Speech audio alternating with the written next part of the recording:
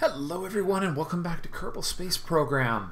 Today we are going to be sending Kerbollo 9, the official Kerbollo 9 is going to uh, the moon. Uh, it shall be crewed by Lars and Looney Kerman. Um, we don't. We'll leave the third seat empty because it'll save us on fuel. It'll save or save us on uh, life support because we don't actually need three people for the landing portion. We only need two, and we don't need somebody manning the space station because it's a fully autonomous space station. Anyways, I may have grossly overbuilt this thing. I have a habit of doing that, but I may be just a little RCS paranoid because I'm docking. Hopefully, it doesn't impact my ability to fly too much. This is my hope.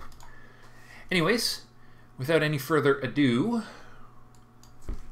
Oh, and we're the biometric capsule on top of the command module is going to let me try and uh, do some biometric readings on the way up. So hopefully, if I did miss a mission or a data set, I can grab that on my way through.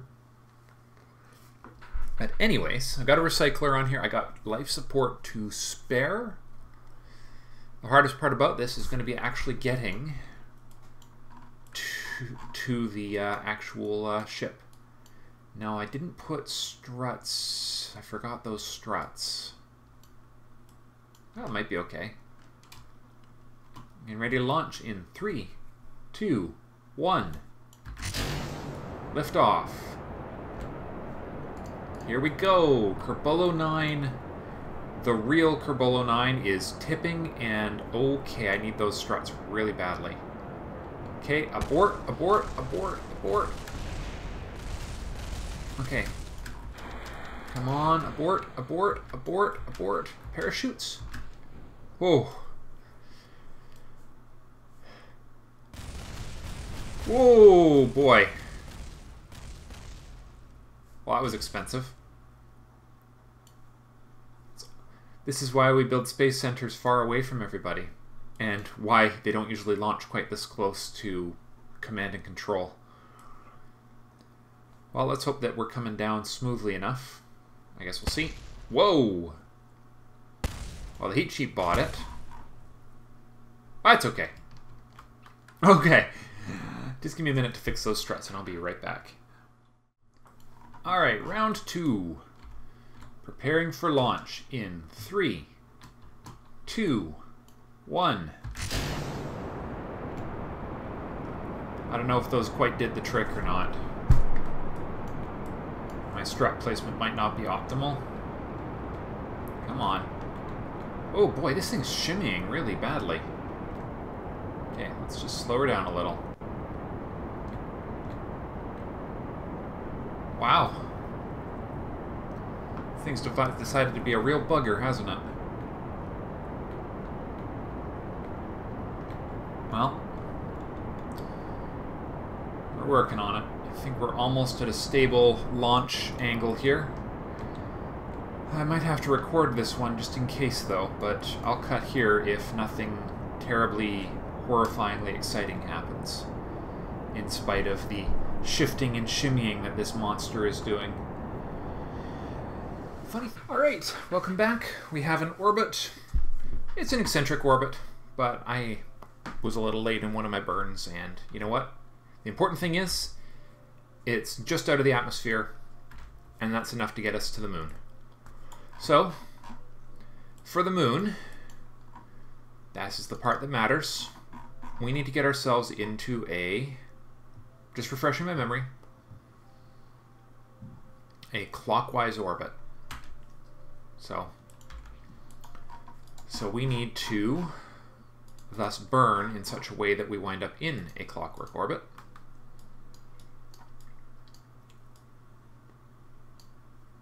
Okay. And that is a clockwork or clock clockwise. What did I say? Did I say clockwork? I really said clockwork, didn't I? Beautiful. Look at that. That is a clockwise orbit around the moon at a reasonably I don't know if I'm just getting better at picking when to leave or if I'm just if I'm getting better at this in general, but that was kind of cool. Now the only thing I can't say for sure is exactly when I should be leaving to meet up with my spaceship. So that's my, my space station. But you know what? nothing ventured, nothing gained. We're going to take a risk, take a chance, and see what happens.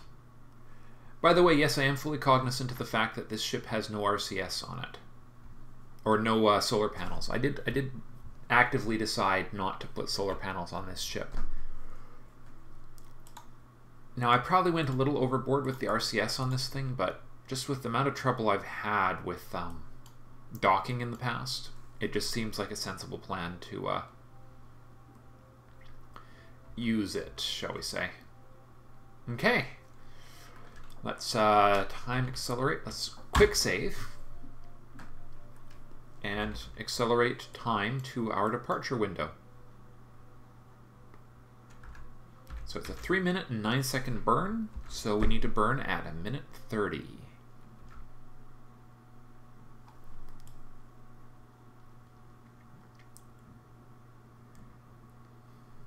T minus 1 minute and 30 seconds.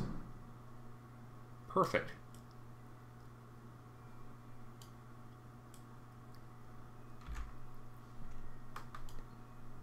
Coming along quite nicely. So we'll start, we'll do our final adjustments in just a second here.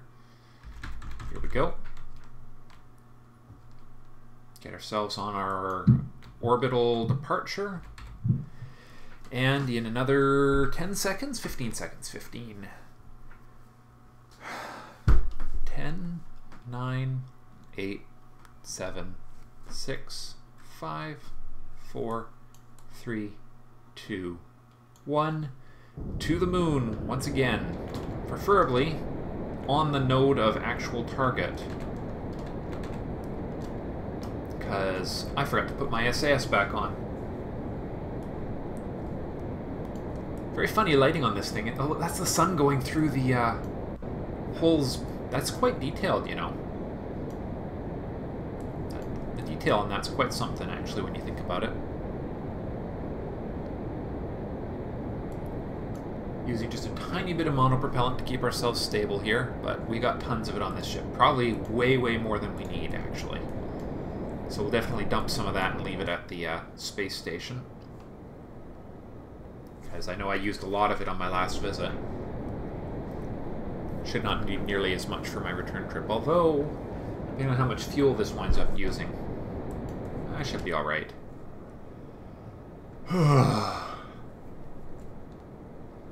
this is going to be really a hope and a prayer. If we can't make a docking uh, successful docking with the uh, station, we might have to abort the whole mission. Because even with our life support doubled up, we only have so much time before the batteries run out on people, you know, breathing.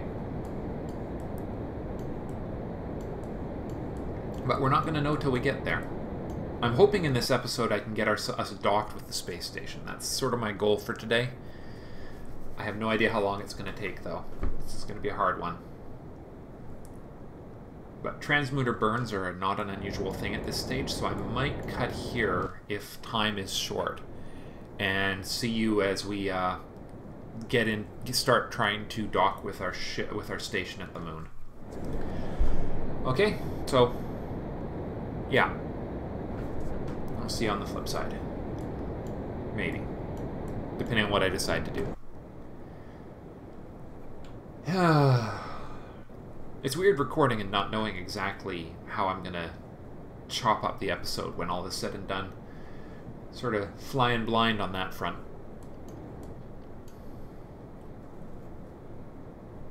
Yeah. It's gonna be interesting. Go this is really just a proof of concept of using a space station as a uh, dock. I just wish there was a way we could actually cal calculate a intercept within something in orbit around a target planet. Make sure our uh, departure window was appropriate. I guess you'd need some pretty sophisticated mods to do that, because that's the same thing NASA does. Yeah. So, 1918. Gotta watch my clock real carefully here. It on the mark. 10, 9, 8, 7, 6, 5, 4, 3, 2, one. Perfect. I see it now. There we are. The word of the day is good enough. Okay. A little higher than I wanted, but that might actually work out in my favor. All right. I'm going to cut here and bring you back when we do our trans our Munar injection. Oh. Hello and welcome back.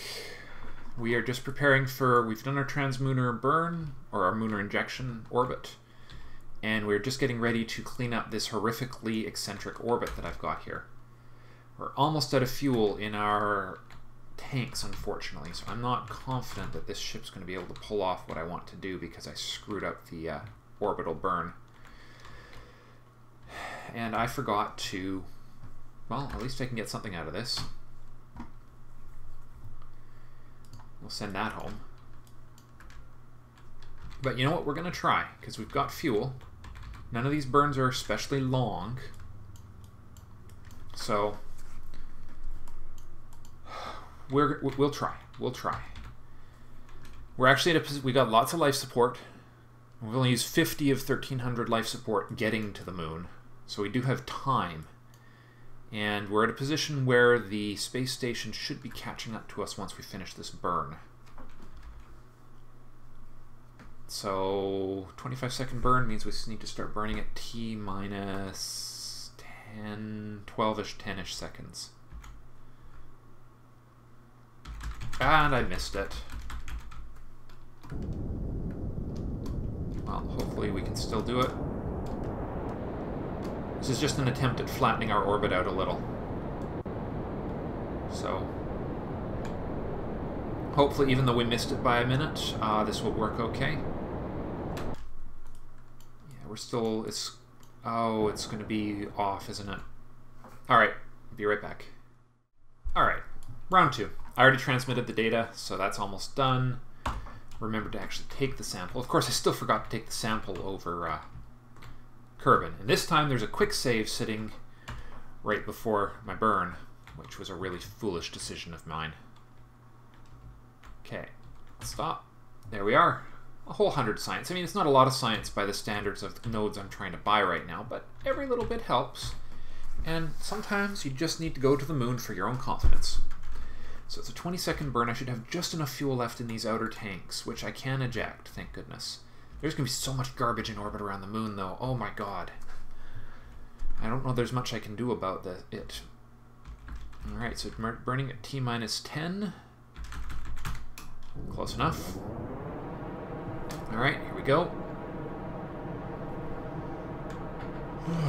SAS, come on, stay on. Eight, seven, six, five, four, three, two, one, zero. Perfect.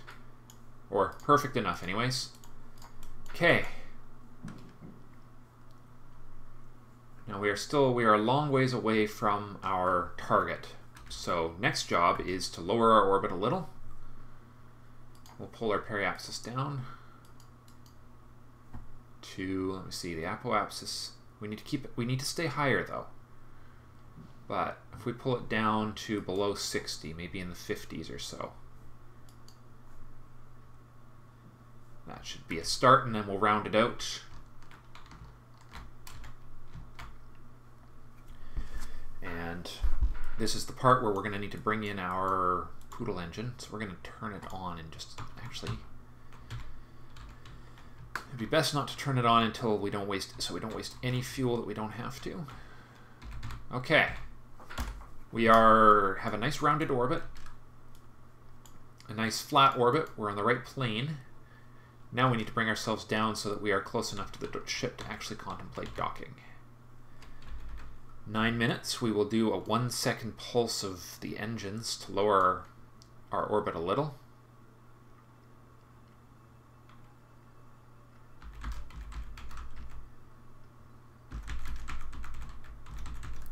see.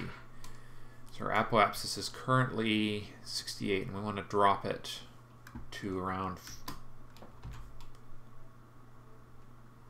Okay.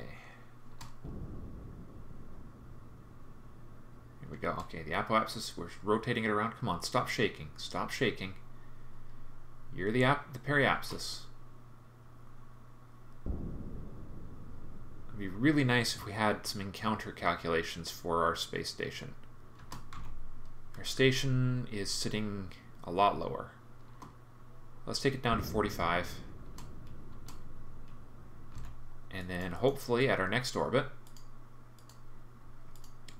which we're going to do a retro burn at the uh, periapsis to bring our apoapsis down closer to the space station too, which is catching up. It's catching up. So let's... Oh crap.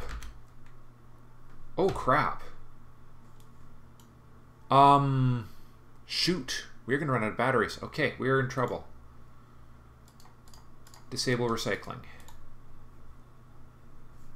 Shoot. I should have put solar panels on this thing. Gods, I didn't even notice how low on batteries we were. Um, we're in trouble. We're in big trouble. Oh, shoot. You watch. I'm going to kill these guys because I didn't bring enough friggin' batteries along. Actually, I do have one solution. There is one thing that can save these guys. The poodle, uh, funny enough. Yeah, I don't think there's any way we're gonna gonna save them. We have to dock with that station for them to survive. And I don't know when we're gonna actually have a docking encounter with this station. I screwed up, guys. Shoot. Okay, we gotta go home. That's all we can do. Abort. Burn for home.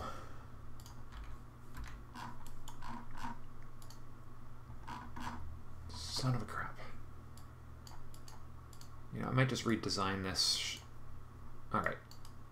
See how much is that going to take? That'll get us a uh, almost returning periapsis.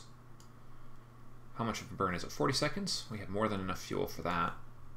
And that'll take us right to the atmosphere. Perfect. Okay. So engine activate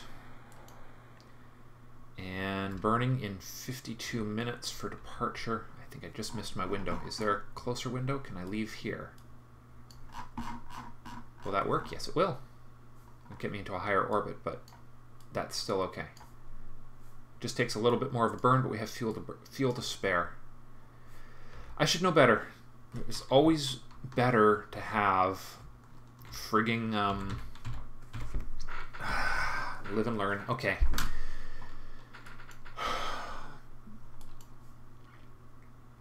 Let's just hope there's enough left here with uh, the recyclers off. Oh, it was the biometric readings. Oh, I'm stupid. Oh, that was stupid of me. Okay, guys, here we go.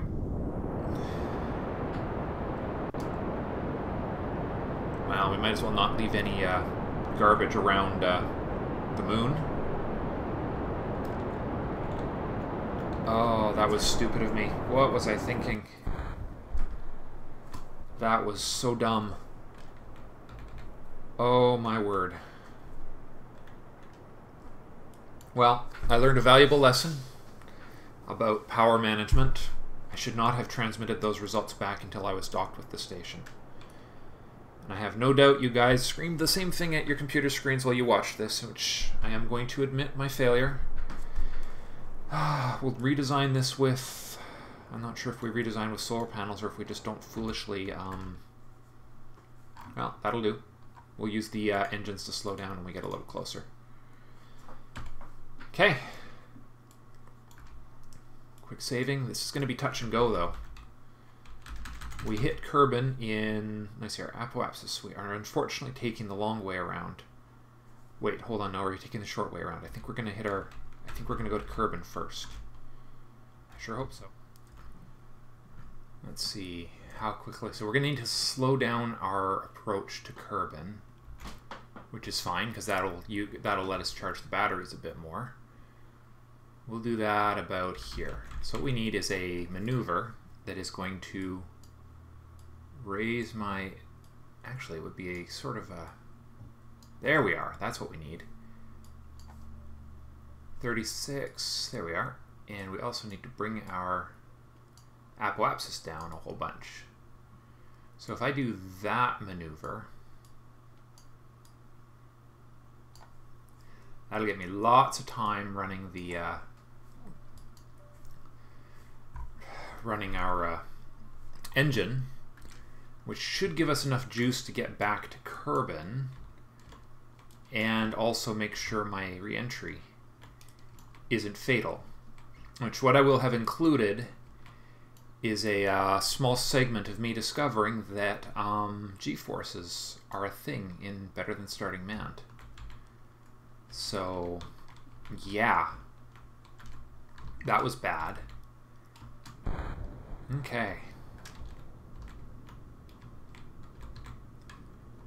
Come on. Yeah, there we are. We're charging. Perfect. Charge those batteries. Let's also make sure this battery is actually off. Yeah, it is. Okay, good.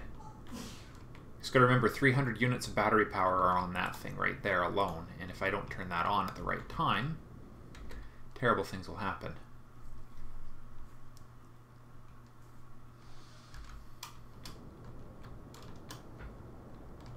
Okay, let's get the uh, computer controls locking me on here. Let's watch our uh, watch our numbers here. I can even go a little faster. It's no big deal. Out this far from Kerbin, it doesn't make much difference exactly when I do my maneuvers. I got lots of time to adjust them if necessary. So, come on. Periapsis out of the atmosphere. Oh, there we are. We have a real periapsis now which is good. Oh, what a disaster this mission has been. Ah, I can't believe how badly I screwed up. So the next one will definitely have solar panels on it. Um, yeah. But right now our only focus is making sure these guys get back alive. I can't believe I almost lost another mission due to battery power, for God's sakes. Okay. Probe core off, SAS off, RCS off.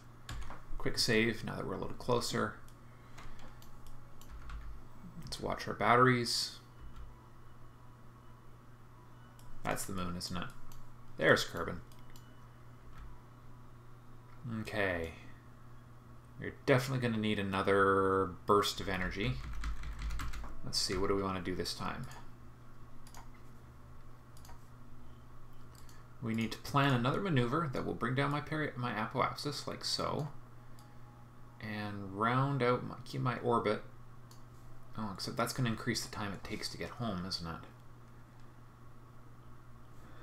Is that increasing or decreasing my return time? All right, now let's note we because we need a. It is definitely problem that it is adjusting our orbit the way it is, but if we do a few more of these, it should buy us enough battery power to do the job. Okay. Lock it on. Charge those batteries some more nicely, which means our speed is dropping. Oop, we're going a little lower than I wanted to go. Let's fix that by running the engine some more, because that's what we're doing. Okay, this is pretty much going to be it for engine power. We've got maybe one more round of uh, prayer. Hopes and prayers are with uh, Lars and company here. Lars and Looney, you've got 1200 battery left, 900 left, 15 minutes worth of flight time. It's touch and go at this stage.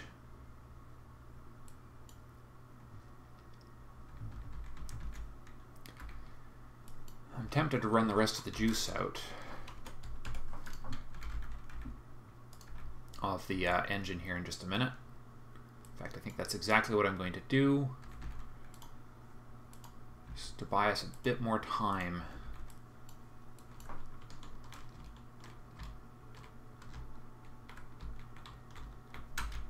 Okay, so we need a apoapsis dropping, but not periapsis. That's the important thing. We don't want to make our periapsis go too much lower than it already is. This is all about just slowing ourselves down a little.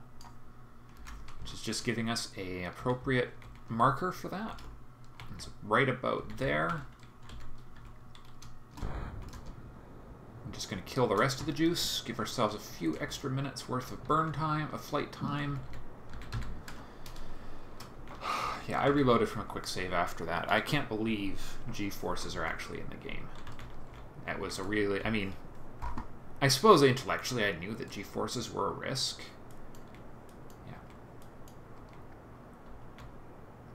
But, okay, well that's it. That's all the juice we're getting in that battery. Now it's just a case, oh, we're in just about in the atmosphere too. So we're almost at the point where, quick save.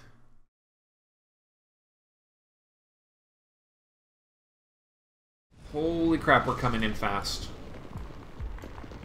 Dangerously fast. Just just so you know, ordinarily this is not how... Oh, and look at the G's on this thing. Oh god, this thing might rip itself apart. Oh, god, no. Oh, no. I didn't even know that was possible. Well, shoot. Son of a crap.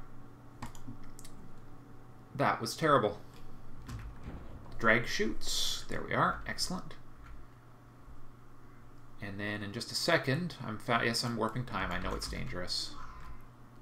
I don't know exactly. Whoa! What the hell just happened there? Alright, let's see what we got here. So, are we going over the apoapsis? Not at this time, so I might actually be able to. Right, right, right. Let's just uh, use our... see if we can actually uh, make our reentry on this pass rather than on the uh, longer pass. Come on, retro. No, we're raising it. Now we're lowering it. Have we lowered it enough? I can't tell yet. I got one minute and some odd seconds to go before we know for sure. And we have a lot of monopropellant we can use up in the process. So just hope we can use it up before uh, all hell breaks loose here, because all hell is about to break loose in just a minute here. Temperatures are rising rapidly. I'm just trying to get our periapsis low enough that we don't actually have to go back up over our apoapsis again. It would be really nice, wouldn't it?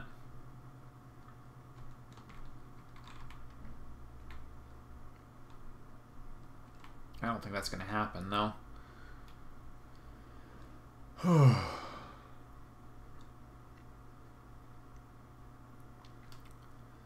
Well, we're about to come down to the explosive part of reentry, which means it is time to get rid of, time to get a hell out of Dodge before all hell breaks loose.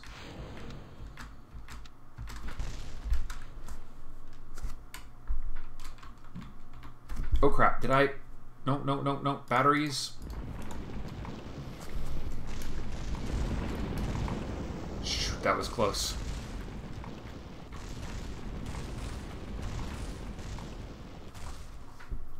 No, our time to our periapsis is still dropping.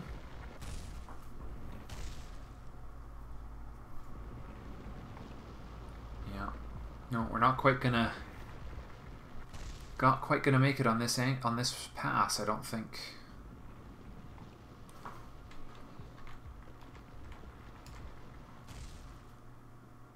No one keep slowing down. Alright, there goes our periapsis, but our apoapsis has to keep on dropping just because of the math of the situation, and it will go into the atmosphere. Okay, there go there it goes. Okay. Oh, never mind. We, problem solved. Problem solved. Excellent.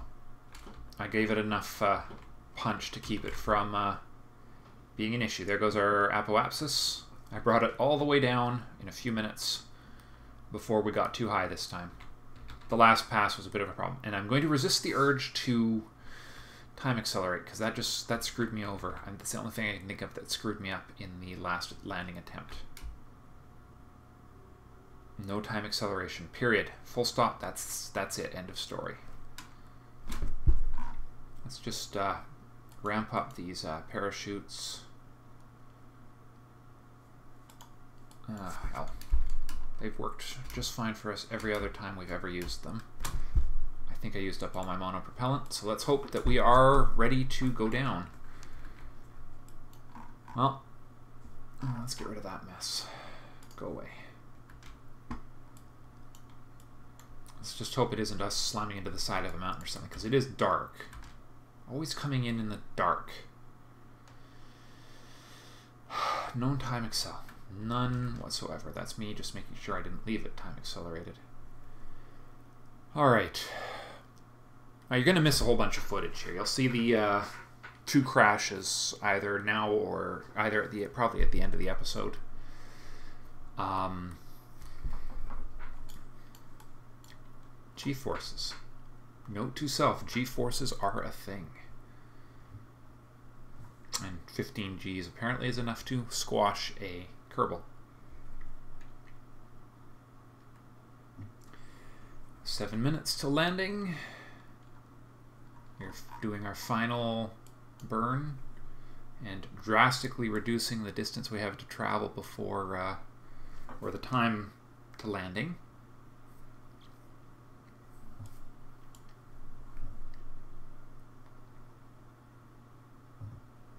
So.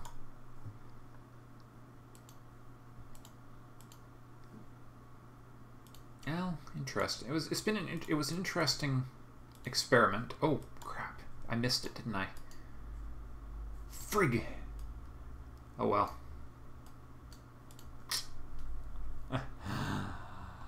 I needed to take that when I was still back up in orbit. Oh well, too late for that. I'll catch it on a future flight. It's only 50 science, so it's not a big deal.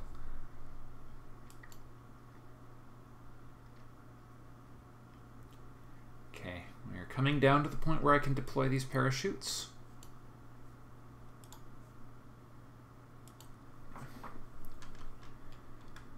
we deploy them. I, I typically deploy them at uh, about 5,000 feet meters. I think that's going to give me plenty of time for my landing. It's really hard to tell right now. But below 200 meters per second works as well. And I think there's enough world below us for uh, to justify starting that drag chute process a little sooner.